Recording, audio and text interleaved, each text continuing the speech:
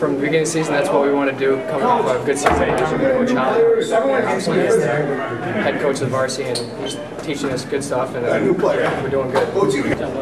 I had a pretty good game. I got I mean, I get a lot of shooting time before practice and stuff like that because it's, on our home court, so I get a lot of time to shoot before the game. So I felt pretty warmed up. Yeah, we just got to keep playing our good, solid D, and if we can keep doing that, I think we're going to do good. We're going to make a run, I think.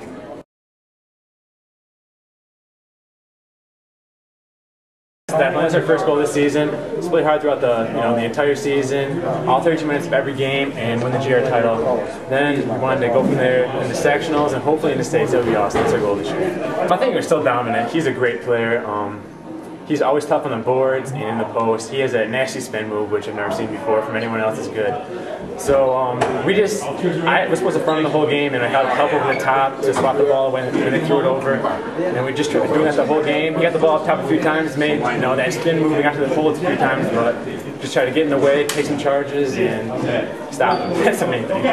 I'm not sure. I just got hot in a second, I guess, but my teammates gave me some awesome assists in the post, and I just capitalized off of it.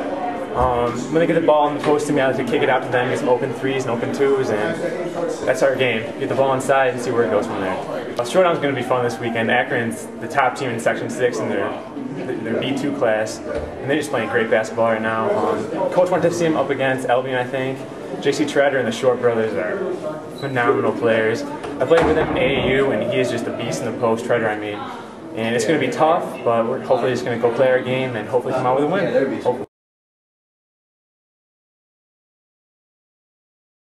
Um, from from day one, from our first practice, we talked about um, one game at a time, and, and, and we really stuck through that you know, throughout the season. Um, I'm really proud of the kids because um, of the effort they put on that defensive end. And you know, from day one, we said we're going to do anything this year. We're going to do it from the defensive end and off the boards. And uh, for the most part, we've been doing that pretty well, game in and game out. Uh, we've had some lulls, but it's a long season, and you know, um, sometimes you know you, you, got those ups and downs. But uh, for the most part, uh, I'm excited for the kids because uh, they earned it, and um, you know it's been fun so far. But we got a lot ahead of us. You know, we uh, our our whole intention for you know in getting ready for the game tonight was to front Kenny and get help across every single time. Um, Smitty's supposed to stand Dwight. I thought Smitty did a great job on, on, on Drew. And when I had to, you know, give him a breather, I thought Josh came in and did the same. So, you know, we kept him off the glass because he's been, you know, rebounding like crazy.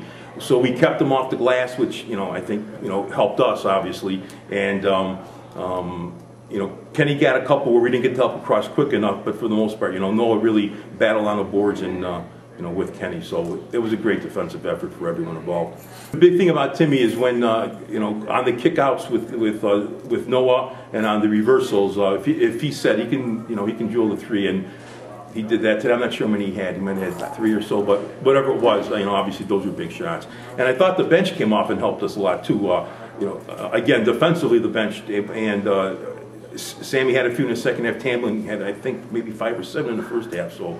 Um, you know, it was a whole team effort.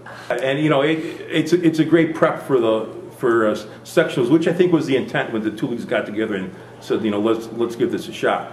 Um, again, uh, starting this week, or actually starting Sunday with practice, you know, we talked about Attica. We had Attica. We said it's going to be a big week, a big prep for sectional. So we had Attica Monday.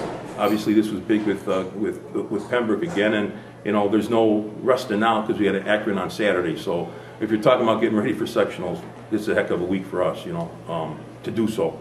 And uh, uh, Akron's a heck of a basketball team. I saw them twice, and uh, um, we have our hands full. So it'll be uh, Saturday should be fun.